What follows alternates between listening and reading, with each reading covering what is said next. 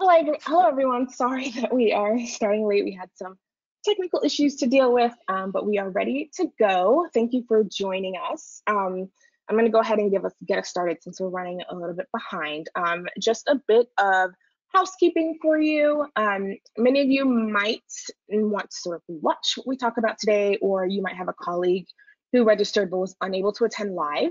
Um, this webinar will be recorded and everyone who registered will receive a follow-up email with that recording.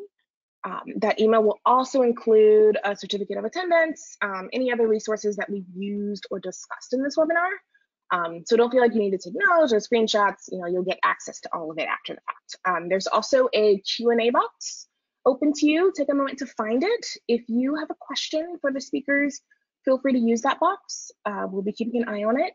Um, and if we ask you any prompts, that is also where uh, we'll be monitoring for your responses. Um, for those of you who don't know much about Teachstone's mission, uh, we are really about helping every child reach their full potential. And we do that by observing and measuring the interactions between teacher and child, and then working with teachers, with coaches, with administrators to help them improve on those interactions with their children and with their colleagues uh, when necessary. Um, so far, we've fulfilled this mission with educators in all 50 states and uh, around the globe, um, but we know there's still a lot of work to do, right? And that's why we're really excited to have conversations like the one we're having today. Um, so again, thank you for spending your time with us. Um, all right, I am going to pass it over to our wonderful speakers today, Sofia and Veronica, to introduce themselves. Thank you, Gloria. Hi, everybody. My name is Sofia Rodriguez. I am Client Implementation Specialist here at Teachstone. I've been with Teachstone for a couple of years now. I'm originally from Lima, Peru, and living in Virginia. And I've seen how amazing it is just to interact with different organizations, teachers, and just get to see the impact that we have on early childhood education. Uh, so I'm very happy and thrilled to be here. And actually, um, I'm very thrilled to introduce Veronica Fernandez. She's on the line as well. Veronica, do you want to introduce yourself? Absolutely. Um, hello, my name is uh, Veronica Fernandez. I'm a developmental psychologist and research scientist at the University of Miami. I've been working in early childhood for a very long time. My mom had a child care center when I was very young, so I've been in this world for a long time. Um, then studied education, worked as a classroom teacher, and then I was a curriculum specialist and co-director for several years at a center then went back to the university and got a master's and a PhD in developmental psychology and have been engaged in work that focuses around teacher child interaction quality and improving the experiences of young children. My journey with class began actually in, in 2009, which was my first year of graduate school when I initially got trained in the pre-K class. And we've been using it in research studies and in implementation work as well with teachers in the community. I just want to apologize that my camera is not working. So I just want to let you know that I, am here on audio, but can't seem to get on, on camera. So I apologize for that. If I figure it out, um, hopefully we can see each other soon.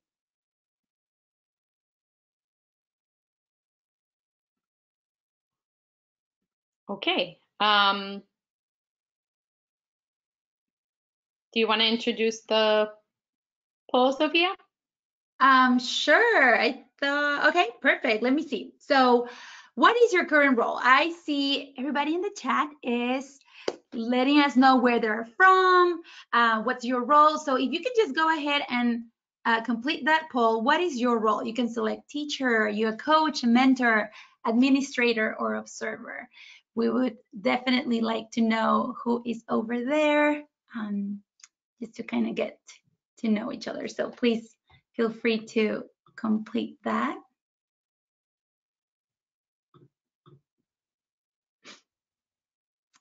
All right, awesome. So we're talking to 58% of teachers, great, 23% of coach mentors, 13% are administrators, and 6% class observers. Thank you so much for being here. We really uh, are excited that you joined today. Um, so moving forward, we're gonna do a quick check-in. Um, we're just gonna go ahead and see what is your program currently. So are you 100% remote? You do a hybrid? Or you are mostly or completely in person? We know that now with COVID time, we are all doing different things from different places.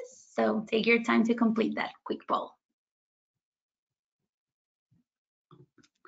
And I see lots of you in the chat also replying.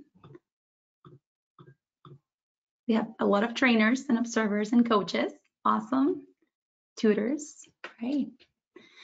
Okay, so 56% of you are 100% remote. Oh, wow, that is great. 26% hybrid and 18% mostly or completely in person. Okay, so a great variety here. I'm sure we're going to cover um, information and let us know if you have further questions. All right. So moving forward, let's see. So Veronica, do you want to um, kind of like dive in with me and let's talk about purpose of this uh, discussion today and webinar? Sure. So today we're going to be talking about practical ways that you can use what you already know um, related to effective interactions that you know and understand about the class and think about how we can best support dual language learners, particularly during remote learning and as children return to school.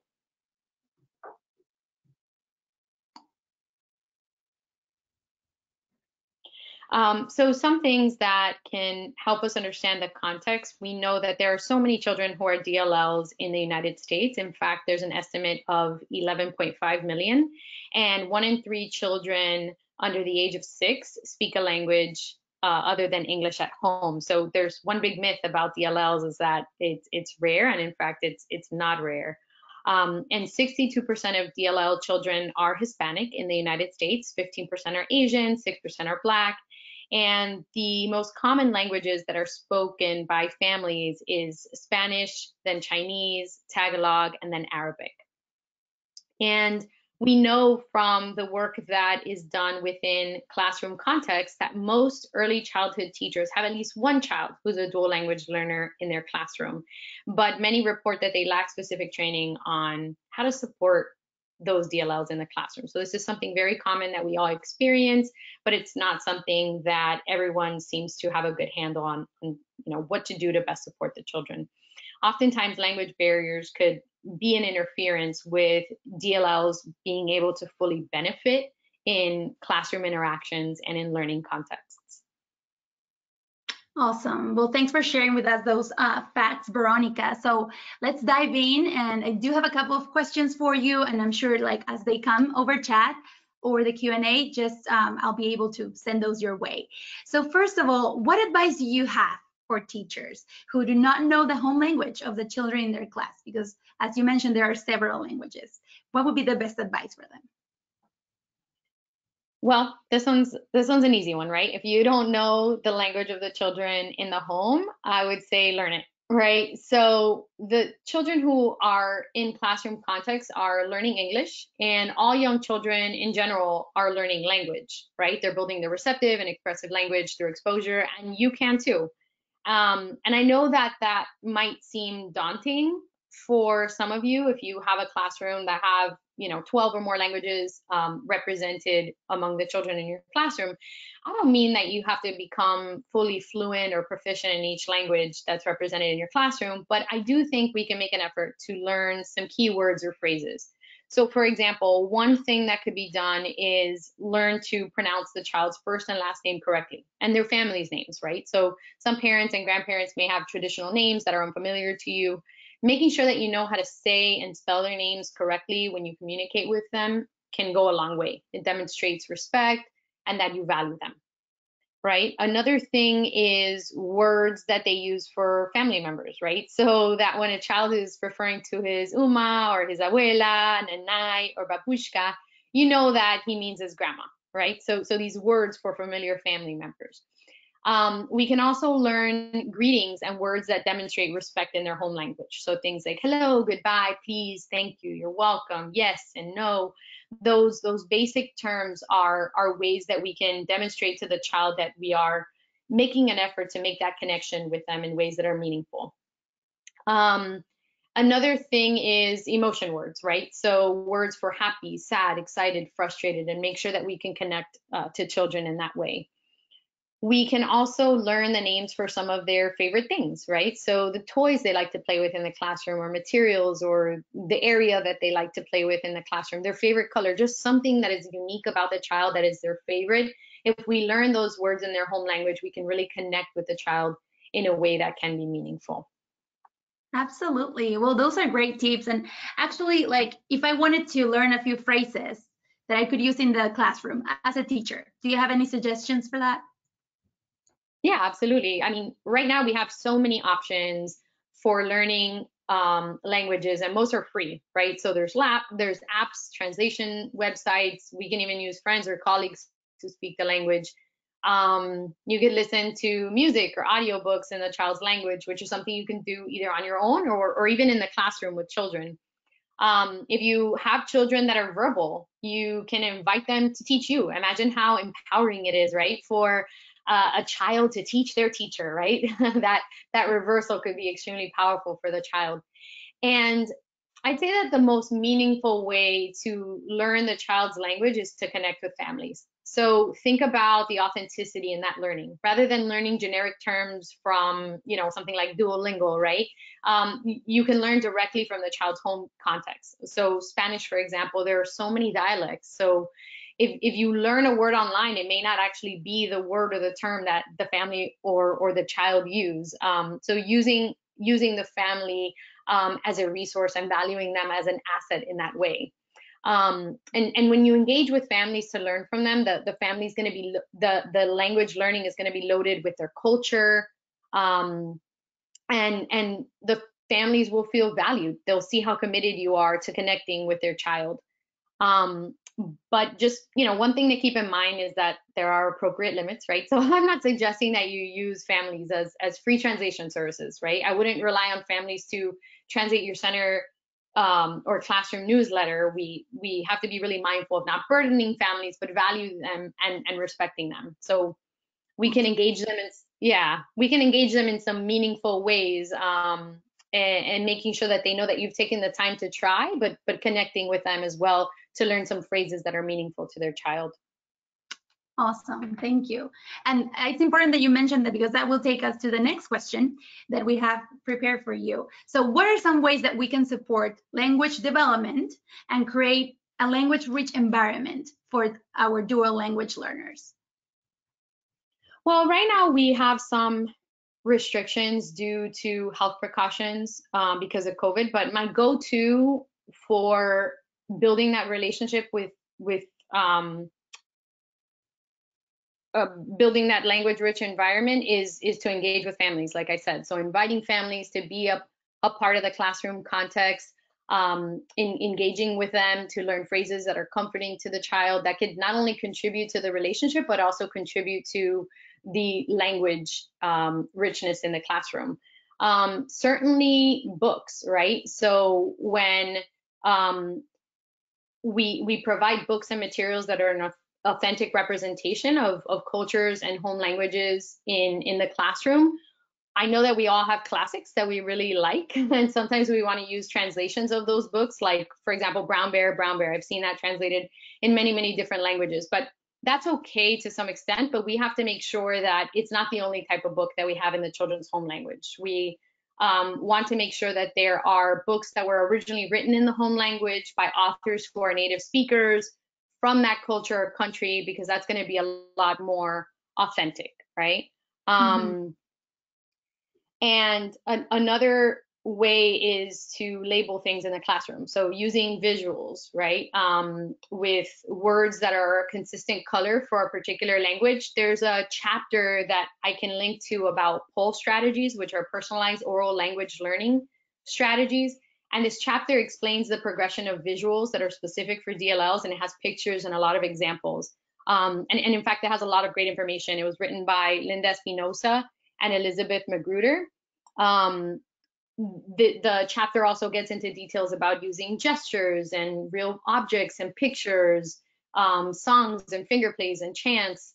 Um, and another thing to keep in mind for DLLs is that small group instruction is important. So when, when we say small group, it's not half the class, right? It's three to four children um, working with the children on, on instruction, providing them with individual previews for examples of books, um, and also setting it up so that children have opportunities to teach each other is another way to to make the classroom language rich.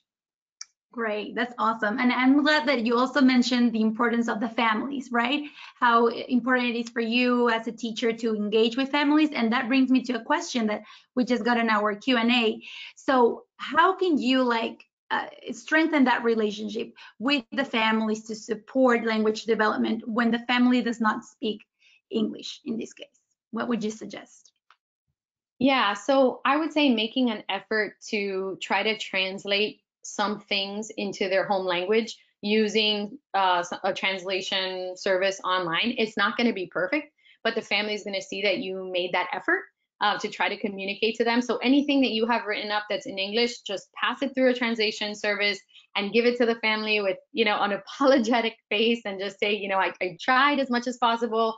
I want to make sure that you can um, you know, hear what it is that that that is happening in the classroom, or that you know, you're aware, and that we're able to communicate. So when they see that you've made the effort to try to put it through a translation service, especially if it's a language that you don't have anybody else that can maybe proofread, um, they will appreciate that effort um, that that you're making, and then that can really open up that line of communication with families so that they understand that you know in one of the notes you can even you can write in english and then have it translated saying you can write things to me in your home language and i will make sure that i get it translated so that i understand you right? So it takes some of that pressure off of the family allowing them to write to you in the home language or even speak to you with a translation app so that you can somewhat communicate with that family because that's that's absolutely critical absolutely yes and uh, a lot of our um, the people here attending today, they're asking how to do that virtually, right? So you can even use like different apps today, like you mentioned. So I feel like everybody can engage in some way with the families. Which bring us to the next question. Um, so as teachers, what are a few things that we can do tomorrow to improve interactions with our dual language learners? So if I would say it depends on on whether you know the home language, right? So if you know the child's home language, um, you can engage in play using the home language, right? So you can observe them during their play, describe what they're doing, using lots of details and asking questions um, to ensure that their home language is not something that you're just using um, to correct behavior or to just, um, you know, engage with them in an academic way, but also through a fun, meaningful, engaging way, bringing that into their play context is absolutely important. If you don't know the child's home language um, and the child is verbal, you can even go to the child as they're playing and say, Can you teach me how to say block in Farsi? Right? Like mm-hmm. engage the child in that process of teaching you. Um, take the time to pronounce it correctly, practice it, and then use it. Next time the child is playing with blocks, you go and you use that word within the context of their play. They're going to feel um, just very connected to you as a teacher because you're making that effort. Um, if the child is not yet verbal, something you can do is take a picture of them during play and then try to learn some phrases to describe their play in their language. Look it up online, um, show the picture to their families and point to objects and ask them for words that potentially connect to that play. You can share that observation with the child's family, even if you only know a few words. Let's say you only learn the word for block, right? You you quickly mm -hmm. translated that online. You could show the family, you know, say the child's name and say the word for block and they'll see that you're making this effort to connect with them in a meaningful way. Um, and again it's it for me it's really about making language learning playful and fun right? Um, we we often think about um, you know teaching language um, in, in a didactic way and and that's absolutely important but it's e equally as important to not just focus on language in a narrow sense, right? Um, mm -hmm. We can think about, um, you know, teaching language and exposing them to language um, in, in a broader way. So in outdoor play, during physical development, pretend play, meals, music, routine, science, math, all of these contexts are opportunities to make language fun and meaningful for children. Mm-hmm. Absolutely. That's great. I know there are some um, interest too around families. I know we touched base on that previously, but this is a question that came to us a lot. So, what strategies, and I know you've touched base on this, but if we want to be very specific, what strategies do you suggest for building a relationship? Focusing more on like the emotional support, right? That we need to give to our children and how we you strengthen that relationship again with their families. What would you say? Yeah, I mean, uh, it's sort of what I started to say before that we're we're restricted to some extent because of COVID, but my go-to is to engage with families as much as possible. This could still be done remotely, right? Of course, it's better in person, but via Zoom, you can engage with families in meaningful ways. You can ask them about phrases that comfort their child. That's going to contribute to that relationship. If, if the family knows that you are trying to say words in the child's language, in their home language, that is meaningful to the child, that family is going to feel a sense of like, okay, you care about my child, you are invested. I appreciate that, right?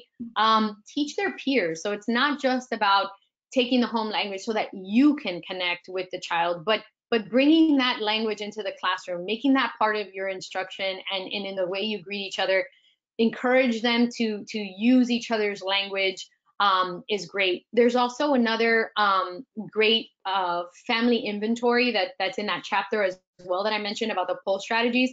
Um, that that gives you suggestions on questions that you can ask families to really get to know them as individuals, right? A, a big part of um, meeting the needs of DLL children is to get to know their backgrounds, their experiences, abilities, their interests, and when they're young, we learn most of this from families. So to understand a DLL child and to really gear your instruction to meet their individual needs, engaging families is, is particularly important. Mm-hmm, absolutely. And actually, just thinking about myself, I was a dual language learner in South America, learning English, right? And I remember my mom constantly repeating also like words in English. She wanted to reinforce in English, like, hey, ¿dónde está tu journal? Like, where is your journal? Like to just write it down. So I felt like that relationship between teachers and families really helped me later, like to develop, um, you know, more knowledge about English. So what you're saying is super helpful. And uh, this is a question that we have right now. So preparing for our next question, if we can just go to the next slide. Um, so for COVID, right now there is, uh, you know, we're all facing COVID, and this is a valid question. How has COVID, virtual learning, and socially distanced learning impacted uh, dual language learning, their families, and the teachers? How has this impacted us? Yeah, so to make social socially distanced learning work, there's a pretty big reliance on communication. If there's a language bar barrier, that could be really hard. But as I mentioned, technology is our friend, right? Um, it can help with translation. There's so many free translation websites. Um, it's not going to be perfect, but families will see that you're caring enough to make the effort to be connected to some extent. Um, if if a child, if a family has a child at home um, and they're engaging in distance learning, it's really hard to balance caring for the child. I'm, I'm experiencing this firsthand. I have a toddler at home, and as challenging as it is for me to find that impossible balance, I also recognize that a lot of families have a much greater challenge. Many don't have jobs that they can do from home, right? So some children are being cared for by extended families, siblings, friends, neighbors, whatever. And they aren't getting some of the routine and certainly not the social interaction benefits that come with group care settings. But I'm not worried that they're not learning English. Uh, you know, in fact, I've mentioned that um, in, in, in so much of, of the work is that this idea that English only emergent immersion is what's beneficial to children. And that's one of the biggest myths that has been debunked consistently by research. We find that continued and intentional support and development of their home language is the most beneficial for English acquisition. So language begets language, right? Um, mm-hmm. If they if they continue to strengthen their home language, that's going to contribute to their overall learning success. So you know these kids are at home in their home language. Yes, they're not maybe progressing in English um, as much as as they would be if they were in a school-based context, but I think we really have to reframe our perceptions of, of children's home language, right? If we think about children's home language and families as assets, then what we should be in doing is encouraging families to engage with children in their home language, right? Um, there's that initiative talk, read, sing, and I would add play. Um, and they should do all of that in the language in which they're most comfortable. Um, because this is the best way to support their child's development, right? I, I, wouldn't tell parents what to cover, but rather just interact with them, talk with them in authentic ways. Um, and you know, just personally, I think there's too much emphasis on the skills and objectives that were not developed with DLL children or diverse children in mind. But mm-hmm. that's a that's a topic for another day. yeah, absolutely. Um, well, thank you, Veronica. This has been very helpful. And like you said, play, you know, just have fun. Um, these little apps. And actually, this brings me to the question sections because I do have a few, and I think uh, we can just talk a little bit about this. Um, a lot of our uh, you know the, the people here right now they're asking that you mentioned a chapter in the book by the author espinosa. Um, what is the name of the book? And if you can also like highlight the resource title because a lot of them are interested in that resource. Absolutely. So i am going to share it right now so that um it can be it can be um Liz, I just shared with you the link to that chapter in addition to the POLL Strategies website that you already shared so that you can go ahead and put that there. Um, it's an excellent resource that walks through the personalized oral uh, language learning strategies um, and, and really breaks down the not just the what to do, but the but why to do it and how to do it. So it's it's a really valuable resource. Um, mm -hmm to to check out. Um, it's a chapter of a much larger book. The the entire book is excellent, but this chapter in particular really gets into a lot of details. We'll make sure that we link it here um, in the chat, but also um, when we post the webinar or send the follow-up slides, we'll make sure that you have access to that chapter as well. Awesome. Okay, perfect. Yeah, that was. I'm sorry. Go ahead. Sorry, Sofia, to interrupt. I did put in the chat the poll strategies um, page, but Veronica, I don't think I got your the name of the book, but uh, we will add that in the um, email that goes out tomorrow if we can't share it now. Okay. Thank you, Liz. Um, so yeah, that was the question that everybody uh, had uh, a lot of questions here. There's another one, and I think we do have a little bit of time to to discuss. Um, let me know, Veronica, how this is asking, Allison Harris is asking us, how can she support feedback loops for children who do not speak the same language she does? Uh, that's such a good question. Thank you for asking. So one thing to keep in mind is that um, we don't have to speak the same language. And oftentimes children's receptive language develops um, for, uh, before their their ex expressive language, right? So their their receptive language, they understand a lot more than what they're able to say. So oftentimes when we're speaking to children in English, they're able to respond to us in a contingent way. We may not know exactly what they're saying, and that's why the reliance on pointing and gestures and pictures and objects are so important. So for example, if the child is building something with blocks and they say a word that you don't understand, um, make some gestures with your hands. For example, maybe the child is telling you they're they're building structures very high. You know, lift your hand up, use gestures and and ask a questioning motion, right? Say, do you mean tall? Does that mean tall? And just sort of look at the child's nonverbal responses. Maybe they're smiling or their eyes light up and they nod their head um, in agreement that lets you see, okay, we're, we're getting somewhere here in this communication. So I would say that when, you know, when we don't speak the same language, relying on pictures, gestures, facial expressions can allow us to have back and forth conversations, even if they're not always verbal, right? So we can still model that contingent responding, that waiting, that serve and return, right, among the children and keep a conversation going, even if we're not quite sure that you know we're we're understanding each other that continued exposure and that interest and modeling the process of language um, is just as important as modeling the the actual words that are being said Wow, those great tips. And actually, this one is uh, this question is associated with what you're saying because um, Mildred is actually saying there is a concept in choosing only one language when working with children with language delays. Is this a misconception? Yes or not? What are your thoughts around that? Um, yeah, absolutely. So there's no research that suggests that learning more than one language contributes to or causes a language delay, right? So certainly children who are learning more than one language may be delayed. And there is some research that says that some children who are DLLs that are learning two languages simultaneously might say their first few words um, later than the average child.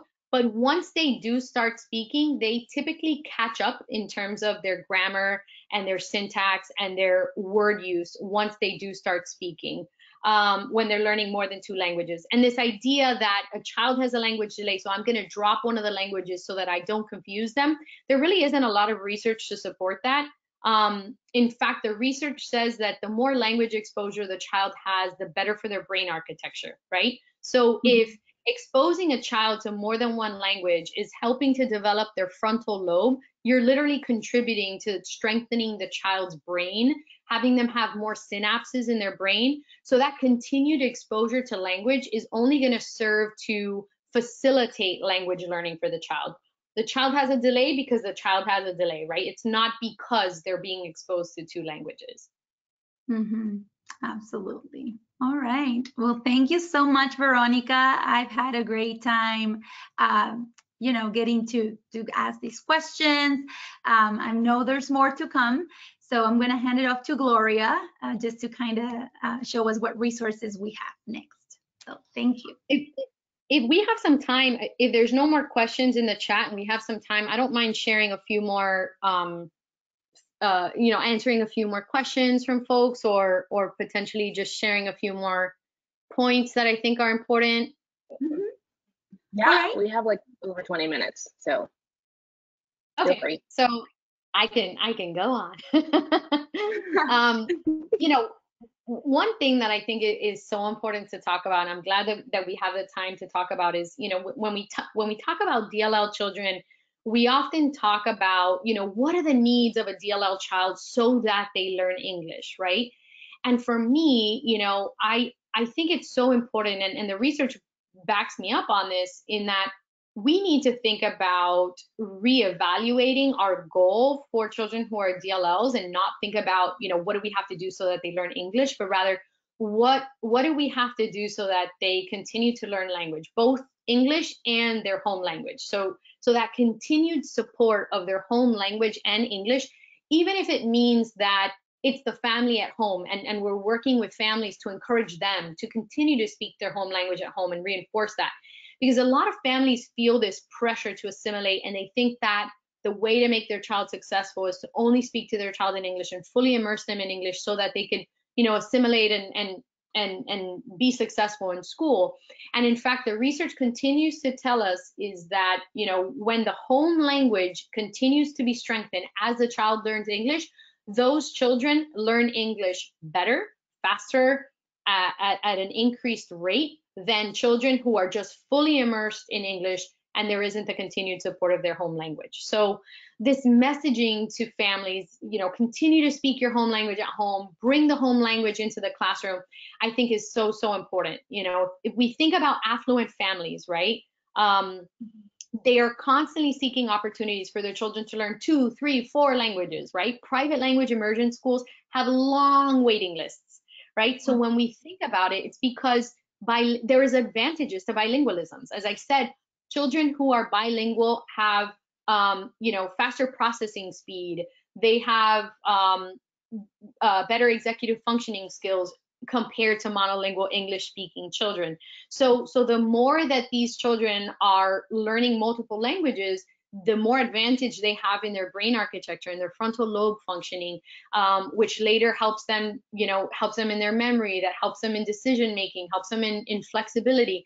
So, you know, we, we want to continue to prioritize this um, and and view their their bilingualism or, or their home language that they're already coming with as a big advantage that they're bringing with them so that then we add English to that, not replace, uh, you know, replace it with English.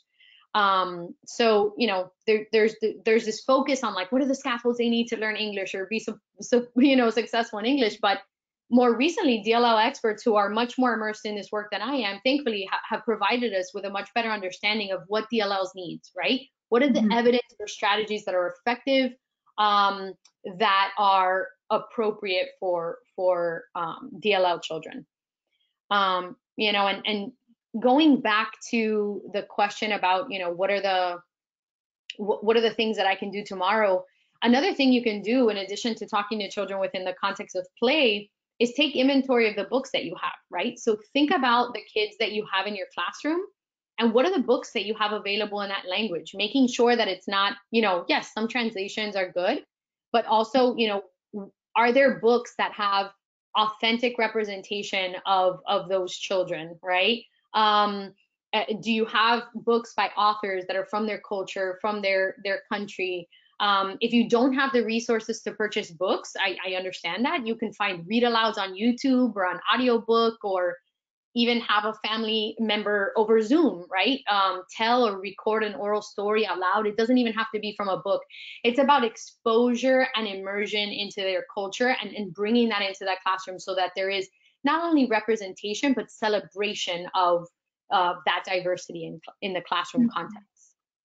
Absolutely. Yeah. And I actually, I just had a very good question here coming in, a lot of great questions. Um, this one is about language in terms of we often hear that children are language confused when we make a referral to speech and language. So as a teacher, how do we proceed when the child has very little language skills in neither language? Like, what would you suggest in that scenario? Yeah, if they have little language in either in, in none of the in either of the languages that they're speaking, um, I'm I always advocate for early intervention and referral. So I would never say, oh, well, the child is learning two languages, so let's wait and see, right? Let's wait and see when they turn three years old if they catch up. No, absolutely. We know referrals take a long time and there's a lot of intervention that can happen.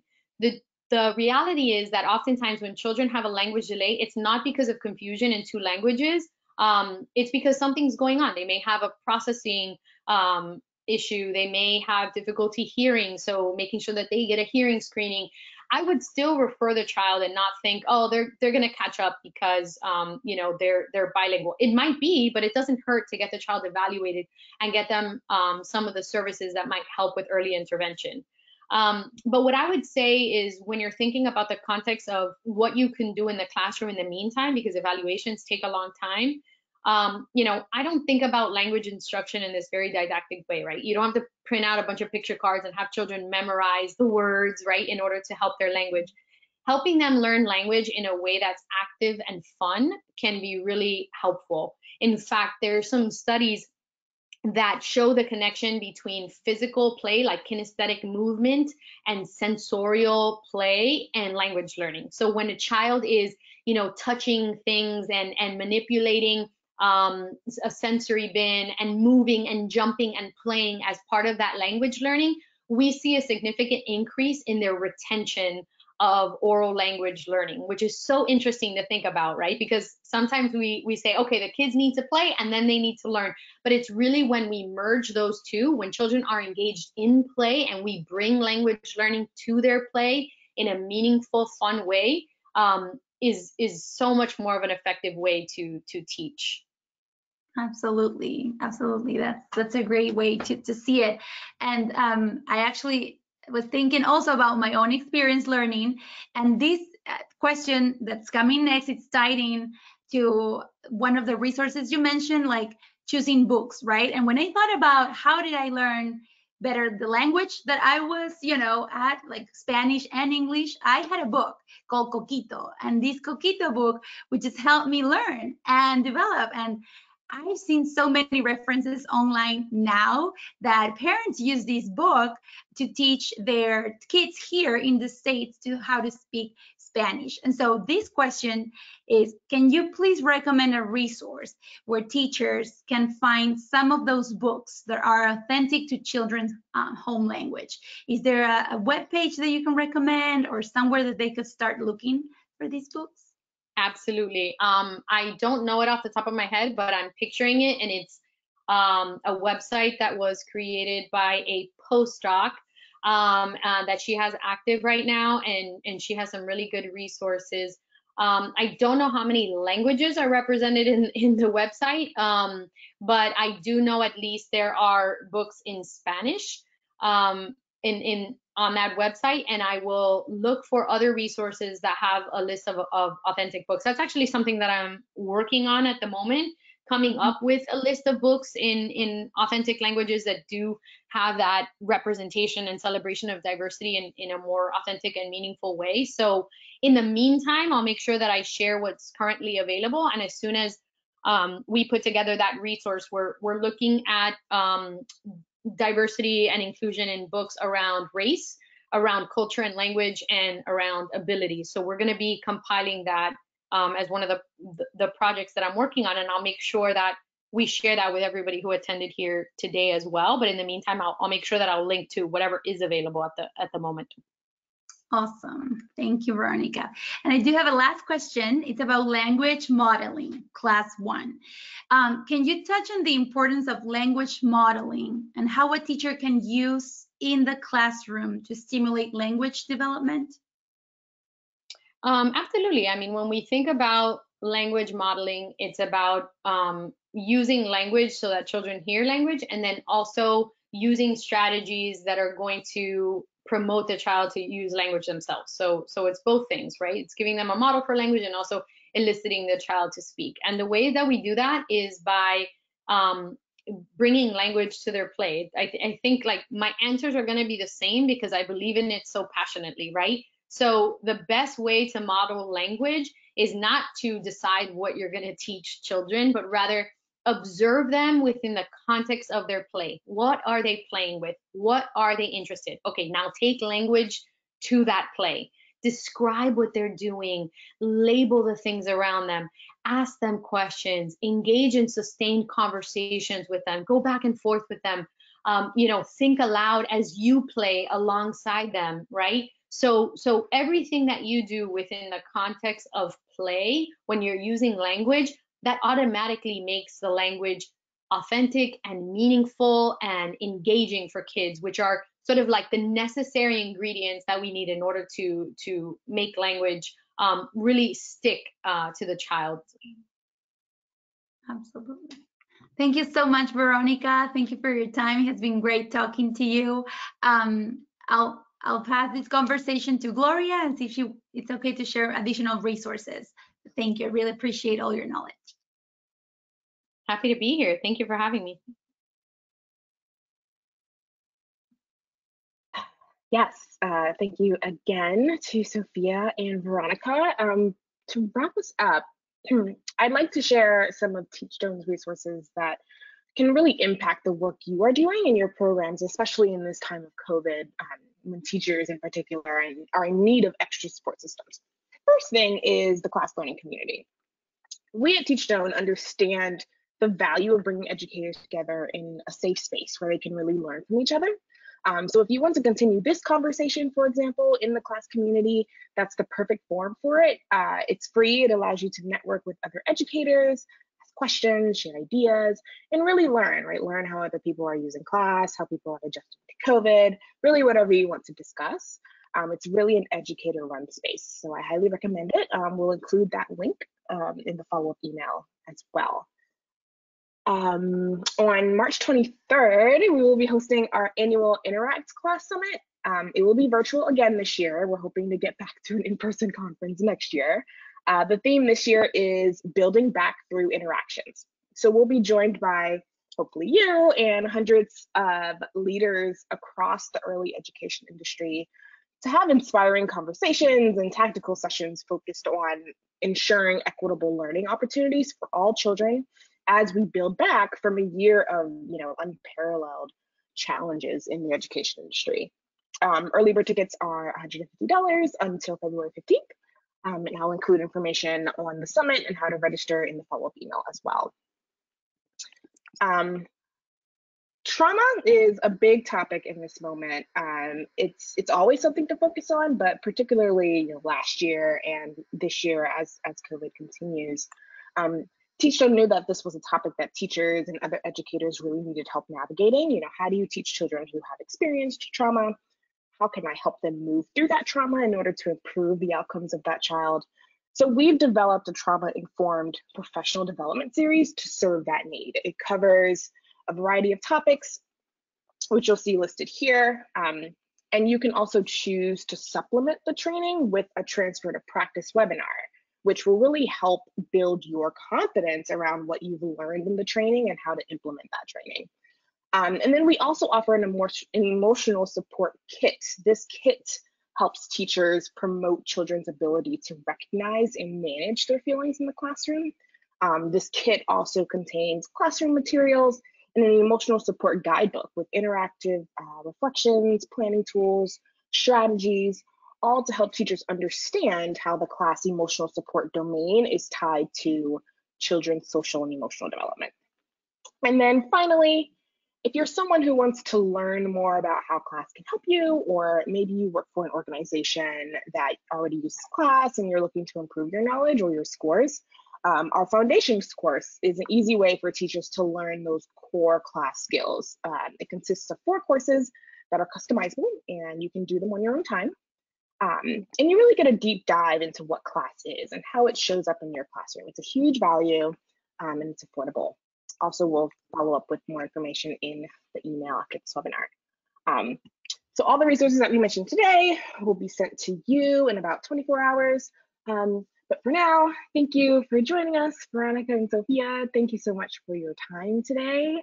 Um, and everyone, please be well. Thank you. Bye. Bye. Bye.